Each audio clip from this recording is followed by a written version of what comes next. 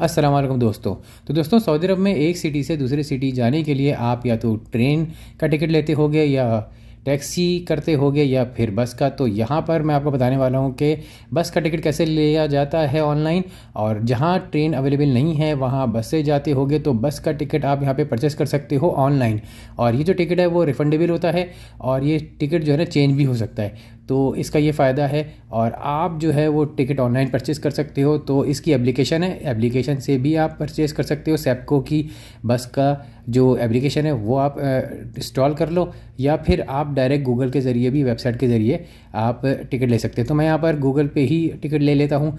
आपको मैं बताता हूँ कि जैसे कि आपने गूगल क्रोम को ओपन कर लेना है। गूगल क्रोम को ओपन करने के बाद आपने यहाँ पे लिखना है सेप्को तो पहली जो वेबसाइट आएगी Sepco dot com dot S A यही वेबसाइट है। इसको आपने ओपन कर लेना है तो ये इंटरफेस आ जाएगा आपके पास। और यहाँ से आप बस की ट्रेन के अलावा जो है वो अर्बन ट्रांसपोर्ट लेमोजीन यानी कि आप टैक्सी भी अरेंज कर सकते हैं स्पेशल जो एक्सप्रेस है वीआईपी एक्सप्रेस, वो भी आप ले सकते हैं। तो अभी हम यहाँ पर सिर्फ़ ट्रेन का टिकट लेंगे और ट्रेन के टिकट लेने के लिए अब इसको स्क्रॉल डाउन करूँगा मैं और यहाँ पर आप देख सकते हैं कि डिपार्चर फ्रॉम का ऑप्शन है, यानी कि आपको किस सिटी से जाना है, उस सिटी का नाम यहाँ पर एंटर कर लेंगे और उसके बाद नीचे अराइवल टू यानी किस सिटी में जाना है तो उसका नाम यहाँ पर एंटर कर लेंगे। अब यहाँ पर आपने मक्का, मदीना या दमाम रियाद, खबर कहीं भी जाना है तो वहाँ पर आप ये एंटर कर लें डिपार्चर के कहाँ से जाना है और कहाँ पर जाना है तो यहाँ पर आप एंटर कर लेंगे। और उसके नीचे है वन वे राउंड ट्रिप और मल्टीपल ट्रिप यानी कि आपने एक दफ़ा का टिकट टिकट लेना है या आने जाने का लेना है राउंड ट्रिप या मल्टीपल लेना है, यानी कि एक शहर में जाना है, फिर दूसरे भी शहर में जाना है और फिर वापस भी आना है, इस तरह भी मल्टीपल टिकट ले सकते हैं। तो यहाँ पर मैं वन वे टिकट लूँगा तो यहाँ पर वन वे पे क्लिक कर लूँगा और इसके बाद नीचे है ट्रैवल डेट तो यहाँ से आप अपनी ट्रैवल डेट को सिलेक्ट कर लेंगे। और उसके नीचे है पैसेंजर्स वन एडल्ट तो आपने एक टिकट लेना है तो वन एडल्ट ही लिखा हुआ छोड़ देंगे। अगर आपकी फैमिली है, ज़्यादा लोग हैं तो यहाँ से आप चेंज कर सकते हैं और ज़्यादा टिकट ले सकते हैं। तो अभी एक ही टिकट है तो वन एडल्ट पे ही रखेंगे इसको। और उसके बाद नीचे है सर्च का बटन तो इस सर्च के बटन पर हम क्लिक कर देंगे तो ये विंडो ओपन होगी। अब यहाँ पर इसको सिर्फ़ आई एग्री पर क्लिक कर देना है। और उसके बाद हमारे पास ये नेक्स्ट पेज ओपन हो जाएगा। अब यहाँ पर आप देख सकते हैं अपना ट्रिप वन वे है, हसा से रियाज जाना है डिपार्चर डेट भी मौजूद है। अब इसको स्क्रॉल डाउन कर लेंगे हम नीचे और ये देख लेंगे कि एक दिन में कितनी जो बसें हैं वो जा रही हैं। अब यहाँ पर आप देख सकते हैं कि 24 तारीख की मैंने सेलेक्ट की है और बसेस यहाँ पे टाइम आपको देखने को मिल जाएगा और आवर्स भी देखने को मिल जाएँगे। और हमें प्राइस चेक करनी है तो इसको लेफ़्ट साइड पे स्क्रॉल करेंगे तो यहाँ पर प्राइस आ जाएगी।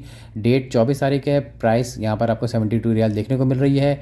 तो अब आप यहाँ से चूज़ कर सकते हैं, अपनी सेलेक्ट कर सकते हैं ट्रिप को। तो मैं सेलेक्ट कर लेता हूँ पंद्रह बजे की यानी कि तीन बजे की। तो इसको सेलेक्ट कैसे करते हैं? तो यहाँ पर सेवेंटी टू रियाल पर हम क्लिक कर देंगे। तो जैसे ही यहाँ पर क्लिक करेंगे तो एक विंडो ओपन होगी। अब यहाँ पर डिटेल है। तो यहाँ पर आप देख सकते हैं कि हसद से रियाज जाना है और ये रिफ़ंडेबल भी है और ट्रांसफेबल भी है। तो यहाँ पर आप देख सकते हैं कि ये दोनों चीज़ें हमें अवेलेबल होंगी इस टिकट की। ये ही अच्छाई है कि आप रिफ़ंड भी कर सकते हैं और अगर आप नहीं पहुँच सके डेट के ऊपर या फिर आपने चेंज करना है तो ट्रांसफ़र कर सकते हैं और इसके बाद हमें बुक करना है तो ये बुक का बटन देखने को मिलेगा। तो इस बुक के बटन पर हम क्लिक कर देंगे। तो बुक के बटन पर क्लिक करने के साथ ही अब हमारे पास नेक्स्ट पेज ओपन हो जाएगा।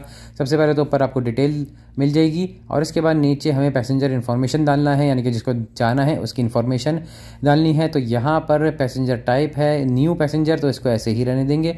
इसके नीचे है नेम तो यहाँ पर आप फ़र्स्ट नेम मिडिल नेम और फैमिली नेम यहाँ पर अपना लिख लेंगे। और उसके बाद नीचे आएगा ऑप्शन आईडी टाइप का। तो इसके ऊपर क्लिक करेंगे तो यहाँ पर आप पासपोर्ट भी सिलेक्ट कर सकते हो। और अगर आपके पास अकामा है तो अकामा भी सिलेक्ट कर सकते हो। जैसे कि मेरे पास अकामा है तो मैं यहाँ पर अकामा सेलेक्ट कर लूँगा।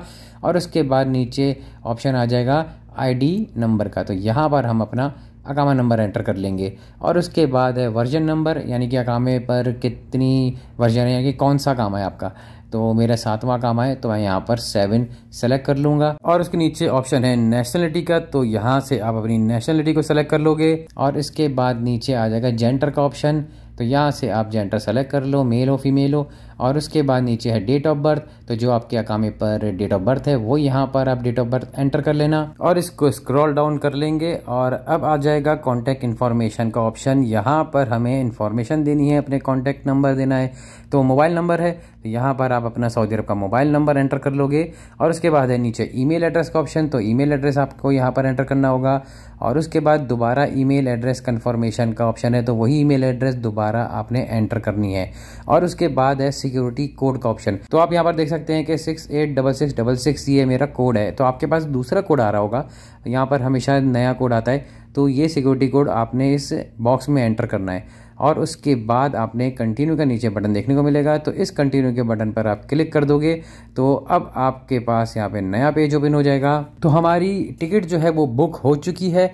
अब हमें यहाँ पर स्क्रॉल डाउन करना है। और यहाँ पर आप देख सकते हैं कि हमारी जो टिकट है वो बुक हो चुकी है आईडी नंबर देखने को मिलेगा टिकट नंबर देखने को मिल जाएगा आपको और नाम भी देखने को मिल जाएगा पूरी डिटेल और उसके बाद बस हमें इसकी पेमेंट करनी है। तो इसके बाद नीचे आप देख सकते हैं कि आई एग्री का चेक है, इसके ऊपर क्लिक कर देंगे और इसके बाद कंटिन्यू का बटन है तो इस कंटिन्यू के बटन पर हम क्लिक करेंगे।